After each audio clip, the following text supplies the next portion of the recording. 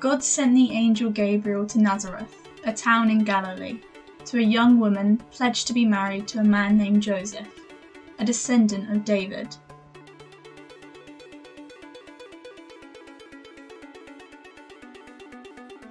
The young woman's name was Mary.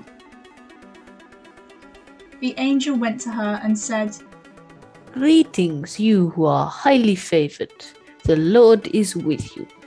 Mary was greatly troubled at his words and wondered what kind of greeting this might be. But the angel said to her, Do not be afraid, Mary. You have found favor with God. You will conceive and give birth to a son, and you are to call him Jesus. He will be great and will be called the Son of the Most High. The Lord God will give him the throne of his father David, and he will reign over Jacob's descendants forever. His kingdom will never end. How will this be, Mary asked the angel. since I am not yet married? The angel answered, The Holy Spirit will come on you, and the power of the Most High will overshadow you. So the Holy One to be born will be called the Son of God. Even Elizabeth, your relative, is going to have a child in her old age, and she who was said to be unable to conceive is in her sixth month for no word from God will ever fail. I am the Lord's servant. Mary answered. May your word to me be fulfilled. Then the angel left her.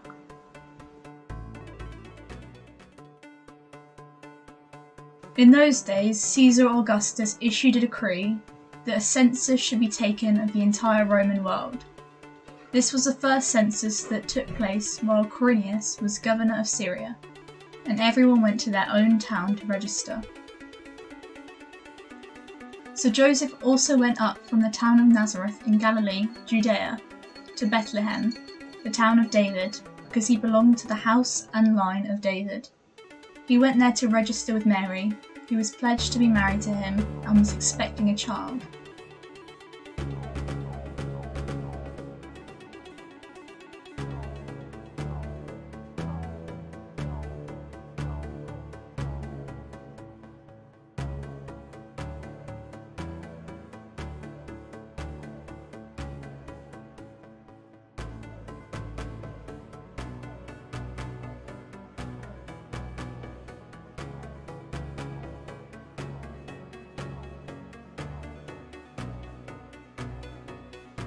While they were there, the time came for the baby to be born, and she gave birth to her firstborn, a son. She wrapped him in cloth and placed him in a manger, because there was no guest room available.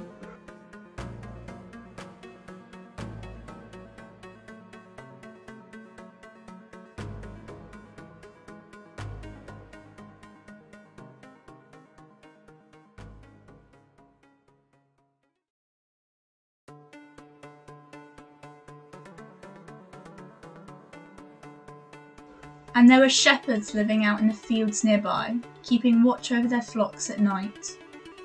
And an angel of the Lord appeared to them, and the glory of the Lord shone around them. They were terrified. But the angel said to them, Do not be afraid. I bring you good news that will cause great joy for all the people.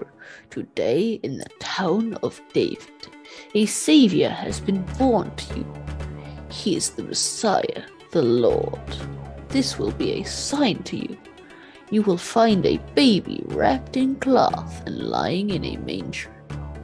Suddenly, a great company of the heavenly host appeared with the angel, praising God and saying, Glory to God in the highest heaven, and on earth peace to those on whom his favor rests. When the angels had left them and gone into heaven, the shepherds said to one another, Let's go to Bethlehem and see this thing that has happened, which the Lord has told us about. So they hurried off and found Mary and Joseph and the baby who was lying in a manger.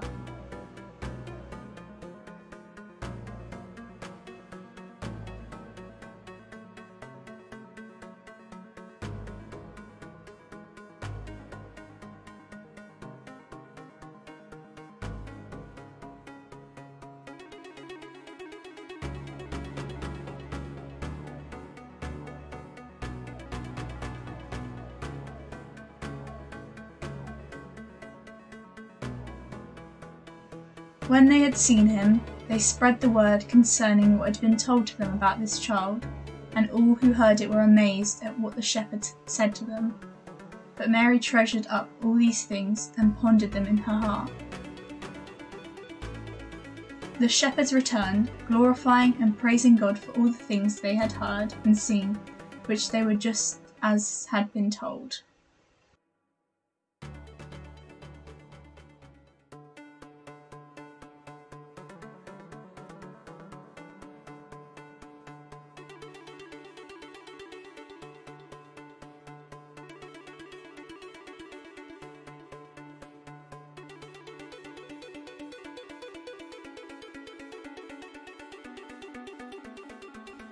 After Jesus was born in Bethlehem in Judea, during the time of King Herod, Magi from the east came to Jerusalem and asked, Where is the one who has been born, King of the Jews? We saw his star when it rose and have come to worship him. When King Herod heard this, he was disturbed, and all of Jerusalem with him.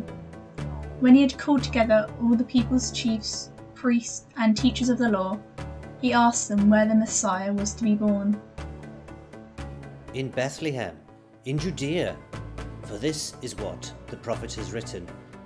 But you, Bethlehem, in the land of Judah, are by no means least among the rulers of Judah.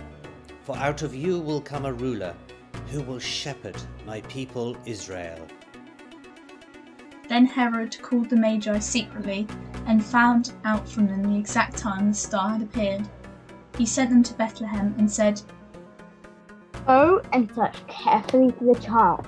As soon as you find him, report to me, that I may too go and worship him. After they had heard the king, they went on their way, and the star they had seen when it rose went ahead of them until it stopped over the place where the child was. When they saw the star, they were overjoyed. On coming to the house, they saw the child with his mother Mary, and they bowed down and worshipped him. They then opened their treasures and presented him with gifts of gold, frankincense, and myrrh.